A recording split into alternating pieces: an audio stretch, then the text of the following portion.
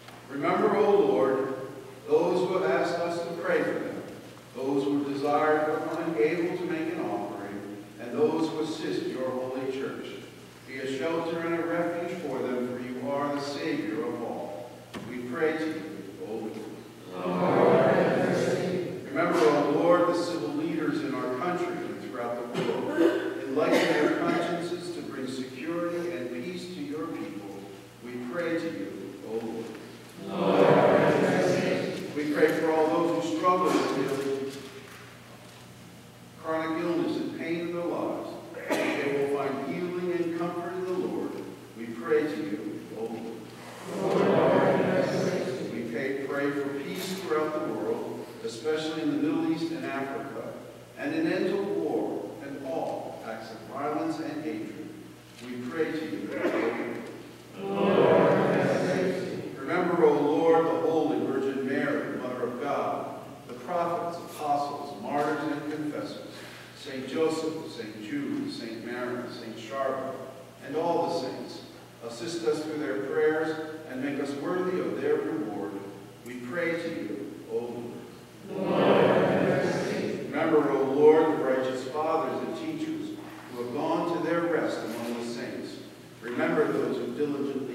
Your gospel